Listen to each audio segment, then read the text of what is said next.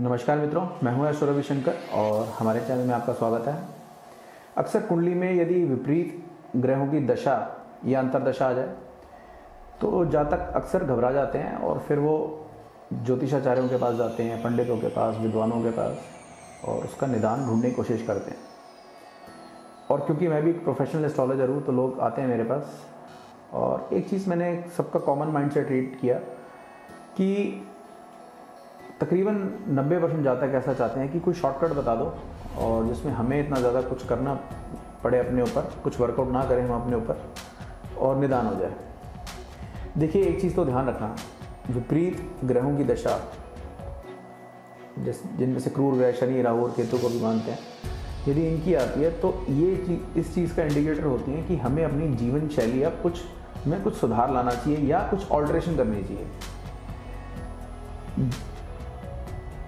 Alteration के से मेरा मतलब ये है कि जीवन शैली में अपनी जागरूकता लेके आए। जागरूकता मतलब अपने खाने के बारे में, इंसान जागरूक हो, अपने पहनने के बारे में, अपने लाइफ स्टाइल के बारे में, कितने बजे मैं उठता हूँ, कितने बजे सोता हूँ, और क्या मैं खाता हूँ, कैसे मैं सुबह सैर करने जाता हूँ, नहीं जाता हूँ, क्या मेरा वर्कआउट है, कितनी मेरी इनटेक है डाइट की, कितना मैं पानी पी रहा हूँ, और क्या मैं किसी का कारण ही दिल तो नहीं दुखा रहा?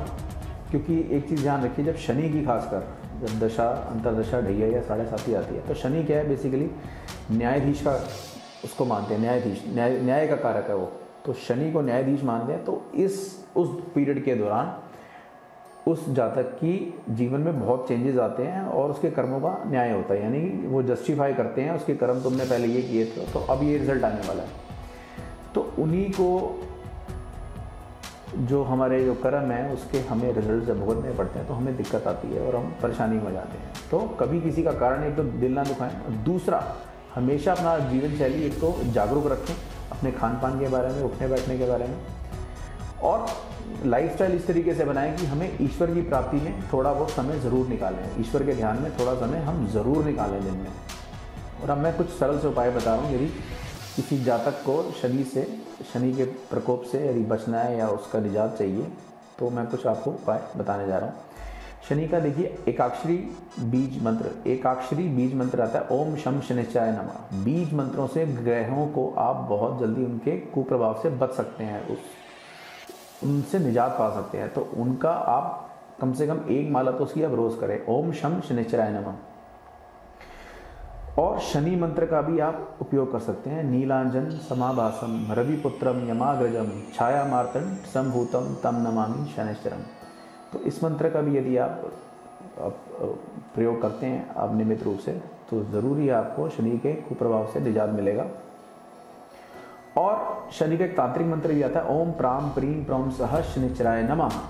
ओम प्राम प्रीम प्रौम सह शनिचराय नमः। इसकी भी यदि आप एक माला ज़रूर रोज़ करें तो निश्चित ही आपको लाभ होगा।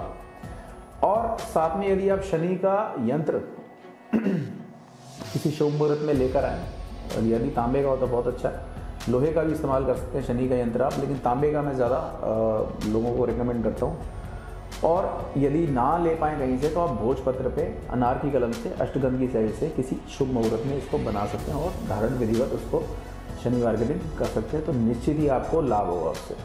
तो ये छोटे से मैंने आप बिल्कुल उपाय बताएँ, यदि आप करें और अपनी जीवन शैली के बारे में जागरूकता लाएँ और अपने ऊपर वर्कआउट करें तो ये उपाय दुगना काम करते हैं। अदरवाइज़ जब अगर हम खुद भी सुधरना चाहें, ना चाहें और वर्कआउट भी ना करें अपने ऊपर और अकारण ही किसी का दिल भी दुखाएँ और ईश्वर के ऊपर ध्यान बिल्कुल भी ना लगाएँ, उसकी प्राप्ति के पथ पर ना चलें तो ये दिक्कतें हमें हमेशा हर एक को आने ही वाली हैं।